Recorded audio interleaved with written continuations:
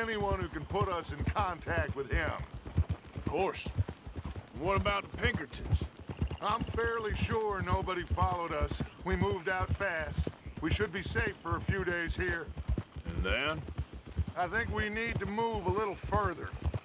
Put some ocean between us and all of this. The mess with those two families, losing Sean. I see things differently now. For a long time, I truly believed a paradise lay somewhere in the west for us. But I just don't know anymore. So we're leaving the country now? Maybe. I'm still thinking about it. Whatever we do, we'll need more money. In any case, we have more pressing matters to attend to first.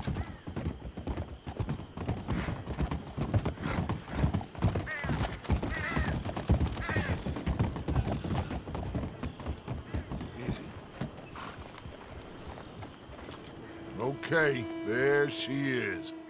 A real city. The future.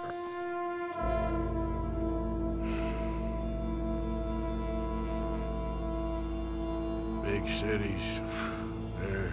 Always repellent. Exactly. I'll find you in there. Go see what you can figure out. Yes.